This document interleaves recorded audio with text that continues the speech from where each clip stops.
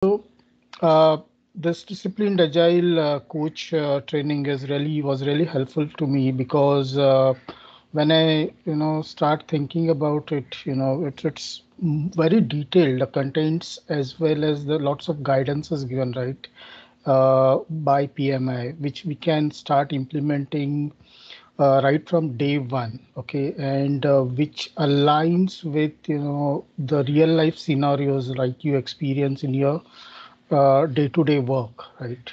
And um, apart from that you know uh, the trainers were really quite uh, good and knowledgeable. And uh, really all all all practical examples were discussed. The simulations were quite good and quite helpful. uh, open discussions, uh, room for feedback, and then we, we used to discuss the uh, we, we also discuss the solutions right on on on these scenarios. So that was really helpful. And my wow moment was you know when I first saw the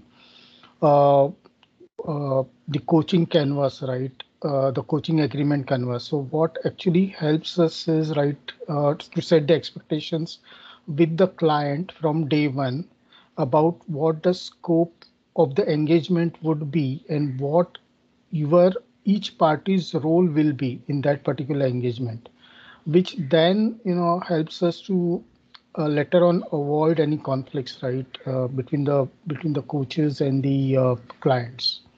So i would recommend this course to you know uh, all almost all my colleagues you know who are in this agile field and uh, yes, I mean, uh, uh, a lot of good things to take back from this course.